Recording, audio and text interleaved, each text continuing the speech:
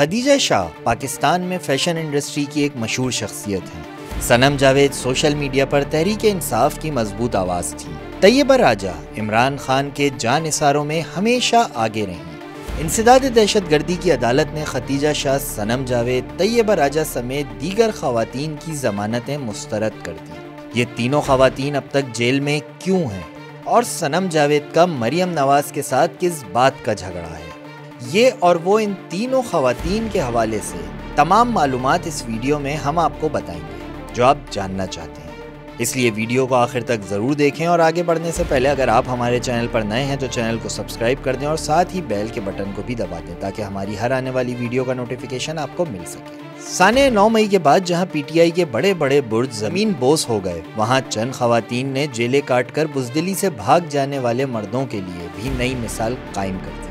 अदालत ने सानिया नौ मई के वाकयात में मुलविस खदीजा शाह, सनम जावेद, तैयबा राजा समेत दीगर खातन मुलजमान की जमानतें मुस्तरद कर दी हैं। आइए दोस्तों, अब आपको इन तीनों खातन के बारे में कुछ बताते हैं। जेल की सख्तियाँ बर्दाश्त करने के बावजूद डट कर खड़ी रहने वाली तैयबा राजा, इमरान खान के जान इशारों में हमेशा सबसे आगे रही। तैयबा राजा ने सोशल मीडिया और अमली मैदान में भी हमेशा इमरान खान के मौकफ पर लब्बैक कहा।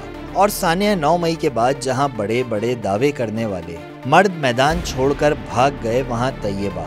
अभी भी डट कर खड़ी हैं। खदीजा शाह भी सानिया नौ मई के वाकयात की वजह से जेल में कैद हैं। लंदन स्कूल ऑफ़ इकोनॉमिक्स से बैन अवी ताल्लुकात में बीए की डिग्री मुकम्मल करने के बाद वापस पाकिस्तान आकर अपनी वालदा को फ़ैशन लेबल बनाने में मदद करने के बाद फ़ैशन इंडस्ट्री में अपना एक नुमाया मकाम बनाने वाली खदीजा शाह सबक सदर परवेज मुशर्रफ के वज़ीर ख़जाना सलमान शाह की बेटी हैं। सलमान शाह उस्मान बुजदार की हुकूमत में भी मुशीर रहे।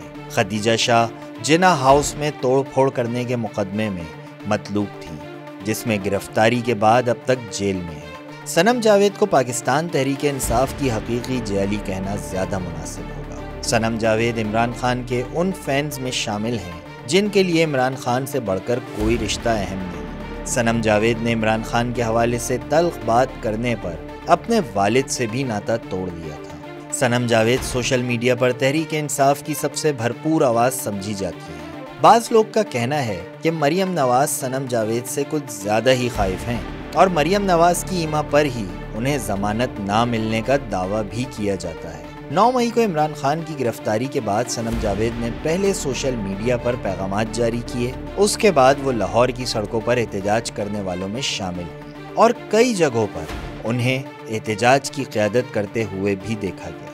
इंसदाद दहशत गर्दी की अदालत ने खतीजा शाह, सनम जावेद और तैयबा राजा की जमानतें मुस्तरद कर दी हैं, जिसकी वजह से उन्हें अभी मजीद वक्त जेल में ही गुजारना होगा।